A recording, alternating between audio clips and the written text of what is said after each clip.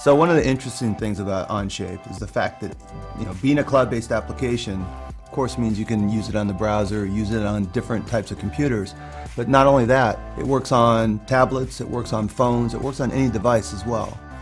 It's not just a viewer like you typically see in the market, it's actually a full editing suite of tools just like you have in the browser. Know, the first thing that you do is you log in, and that's really all you need to do. So when you log in, on the iPad, you're presented with the Documents page.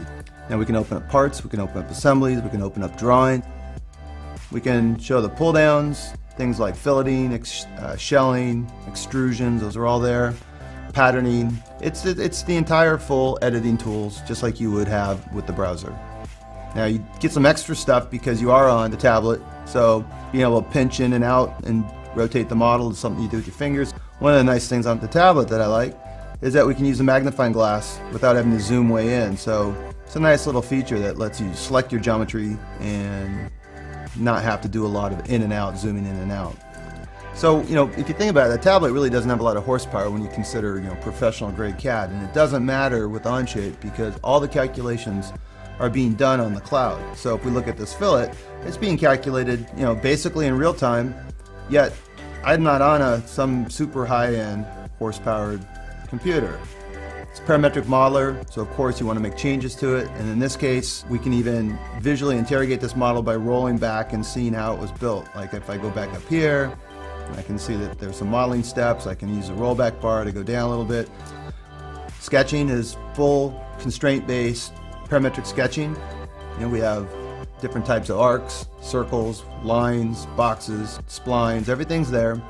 You know, if we'll just, let's just add a simple cutout here to show exactly how this works. You know, you drag it out, you can add a dimension if you want, you can change the size of that dimension. You also might want to actually take that and add or remove some material, so we'll just extrude that out.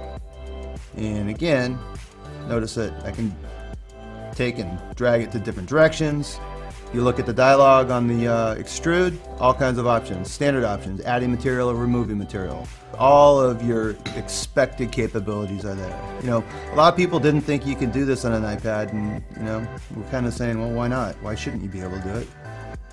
Also at this point, you might want to go in and take a look at sharing this model with somebody. I might want to collaborate with one of my team members and I can do that by going to the share button and I can add their email address and we are all, you know, off to the races. And I've just shared that model with somebody and now they can go in and they could actually work at the same time. We could actually have some people on a browser, some people on, on a tablet, really doesn't matter. They can all work together, we can make changes and merge them together using branching and merging. I mean, we could go on and show a lot of different features, but the point is, the entire suite of modeling tools available to you here on uh, you know a simple device. This is the product. It's the product that you can run on the, on the iPad or you can run it on your browser on any other device. So we let you do everything on any device.